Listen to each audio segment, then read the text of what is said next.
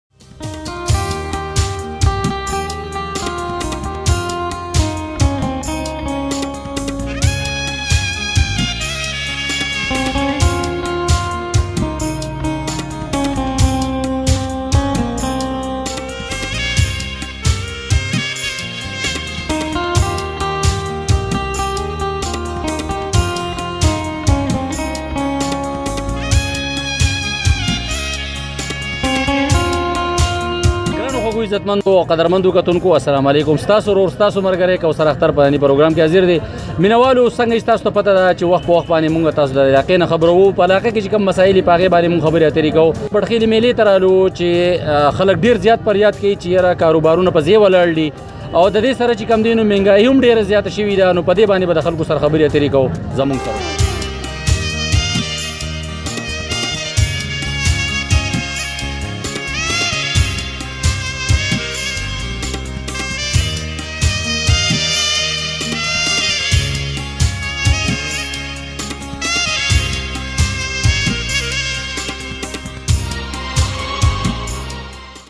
الله الرحمن الرحیم په دې ملک ډېره 100% ګرانی سیوا شوې ده کله بجلی بل ته وګوره کله ګیس بل ته وګوره کله پېټرول ته وګوره کله دوايانو ته وګوره چې نومې شعر هغه یو بدرې شوی دی په یو کال کې عمران خان پاکستان نقشه بدله کړه ګرانه په لیا دي سیال کیږي چې عمران خان نه کورسای نه کوشي او بل یو ایماندار سړی ته پری دی هغه د امریکای سره د ملک سودا وکړه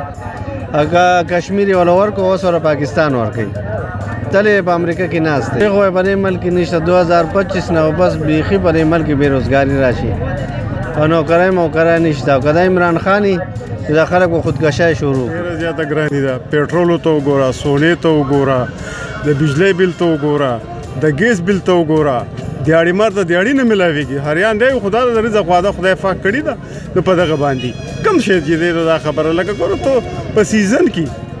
ټماټر په 50 روپۍ دي او په خوا په 60 روپۍ په 10 روپۍ وو خو وړو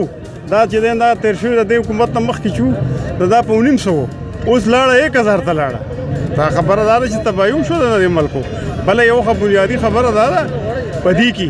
چې دا سه مې ربانې دی کې د حکومت او حکومت ته دا مې ربانې وکي چې د ملکند لاندې یو ټنل منظور دی ابل ټنل وشو مونږ په خوشاله یو خدا د ملکند اټنل د پوری تور منظور کی چې دا خبره دا سہولت ملو شي او بل دا خبره چې دا ملکند دا ګیرونه دا لوی لری لار په مونږ تلند شي بلکې دا په تیار پروګرام کې پروتو تر شي حکومت افتتاح له دوه خبردار چې غریب چې دی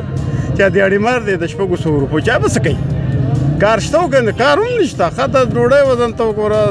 وخت لاړه حتی ورسېده سبزی کم شې دی چې هغه خبر هر ځوند برخه کاونم کړی دی دا کارونه کوي چې موږ سکولونه ماشاءالله خپل بلډینګ زموږ ډېر زیات زبردست شوی دی اوس زه عمران خان ته سلام کوم که نو خلک بد وي وي خو یاره دا ګرانې خو ډېر راغلی دا زه منم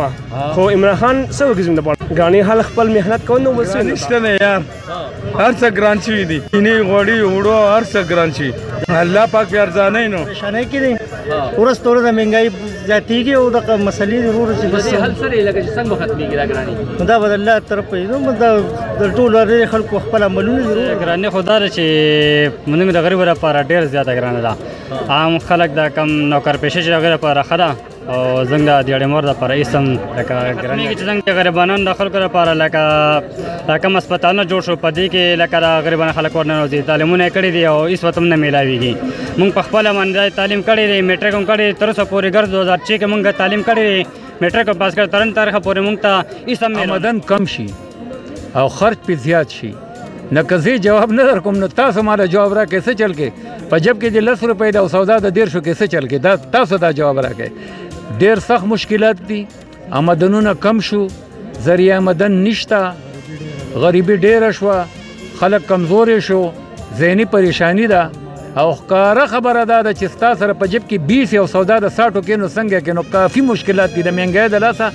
ډیر مشکلات دي الله دې رحم وکړي او خدای پاک دې خیر پیښ کړي او که دا مهنګای په دې شکل روانې نو زما په خیال چې زمونږ د دماغ د سالیه چې کم دا لږ ډیر مازغه مو دا 60 فیصد کار کوي نو دا به 30 فیصد لرا کوش په منټلانو ډارانو ته دا میسج ورکوم چې دا خو دې په دې قوم باندې رحم وکي په دې ملک دې رحم وکي په دې وطن په دې خلکو دې رحم وکي نن مونږ یو سبا زمونږ ماشومان بچی دی بغټیږي بیا به دا غوي بچی هغه راغټیږي چې نن دا حل دی نو لس کاله پس په زما د ماشومانو سره